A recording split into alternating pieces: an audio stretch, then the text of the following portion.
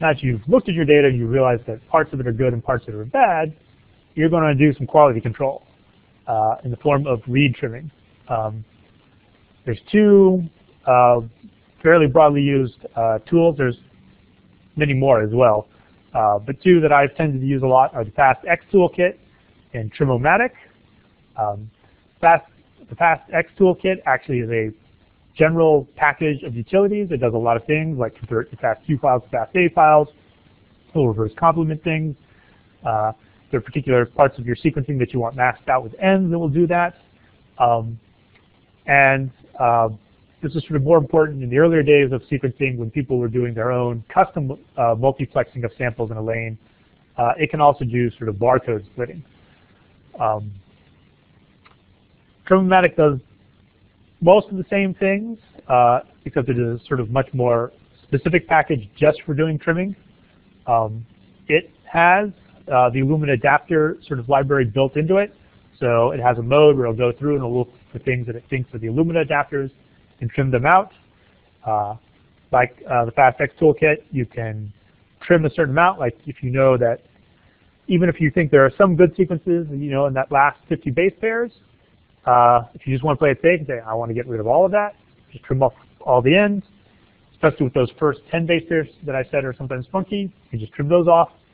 It also has this mode where um, it has sort of a sliding window, and if you can either sort of trim based on the sliding window, uh, and both of these also just have a, um, based on parameters, just throw out the entire read. Don't even bother trimming, you know.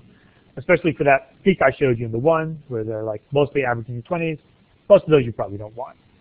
Um, so these are two fairly useful tools. They're both command line tools, so you would um, use them at the command line for some sort of Unix or Linux systems. Now we get into alignment and mapping. Um, so now that you have your reads, you've looked at them, you've trimmed them, uh, you want to know where your reads came from, right? In theory, you prepare the sample, and each read in that sample came from some location in the genome of the organism that you sequenced, and you want to know what that is. Now, some of you may be familiar with this program called BLAST. Um, it is pretty much workhorse of matching one sequence to another sequence. Uh, it's very good at what it does. Um, however, it has certain limitations. Um, in order for it to find things, it basically has this sort of library of words, generally 11 words. Uh, it finds them and then it sort of builds out matches from that core. Now when you have a lot of short reads that you're trying to match to an entire genome, this tends not to be the best strategy. BLAST is also fairly computationally intense. Uh, it was really developed in the days where you just had a few things you had sequenced and you were trying to find how they were similar to a few other things that you had sequenced.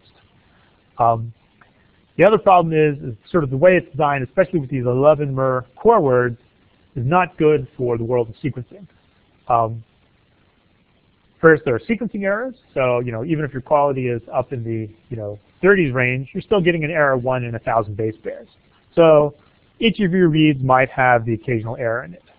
Um, and then there's the fact that some of the things that you're actually looking for, like you're looking for SNPs or you're looking for indels, uh, makes it a little bit more difficult to do the matching correctly.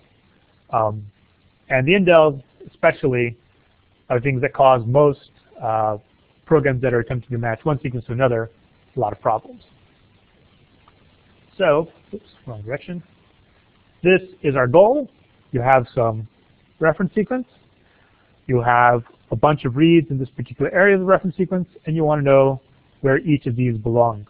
In this case, these are paired-end reads, so this little red section here is what you read, the little red section on the other end is read, and this is sort of information that you don't currently have. It's part of the fragment, uh, but only these two parts were read. Now, this is the algorithm that is used by two of the programs that I'll talk about today, which is the Burrows-Wheeler transform. Uh, this is a data compression technique. Uh, technique. Uh, it works especially well with text strings. And what it basically does is it sort of finds, is very good at finding substrings and then ordering them in such a way that it's easy to sort of locate them. Um, and what you do is you basically sort of, in a, some sense, compress your genome and have a very efficient index back into it. Um, sort of the best way to think, if you know much about compression, the whole idea behind compression is that you find things that are similar in your files and you sort of make them into a shorter notation and then you have like a reference telling you every time you have a shorter notation, it's actually this big, more complex thing. So you can kind of imagine how that is useful for trying to match a bunch of really small short reads into your sort of index, which is actually a, a compressed version of your genome. Um, the first sort of, uh, this here, this Li paper is, is, is the main reference for uh, when they said, hey, this is something that we can use in order to do read alignments. And then uh, I'll talk a bit about BWA and Bowtie, which are current aligners that use the Burrows-Wheeler's transform. You can see in their name, both of them, their names make a reference to Burrows-Wheeler. BWA just said, we're just a Burrows-Wheeler aligner. And then the Bowtie people felt that they, you know, come up with a slightly more clever name. Um, here's just a, a, quick sort of list and set of URLs for you to look at. Uh, the BWA aligner, uh, the Bowtie aligner. Um, SAM tools is something I'll talk in a little bit of detail. Uh, this is a tool that you use after you've aligned the data to do some basic manipulation. Uh, and then the BED tools, um, BED is a format that is used on the UCSC browser. Um, it's a fairly simple format. It's basically like chromosome, location within the chromosome, like start, stop, uh, then like a value, and then a sort of extra list of other sort of values you can put in. Uh, BED tools is a pretty nice set of tools that will do let you do a lot of things with these inter genome intervals, like find intersections, find unions, um, even find counts of how often things, you know, the particular base pair, how often a particular set of intervals has has overlapped a particular set of, of base pairs within. Um, a reference. And so that the bed tool stuff will be a little bit more useful later in the talk when I talk about uh, peak findings.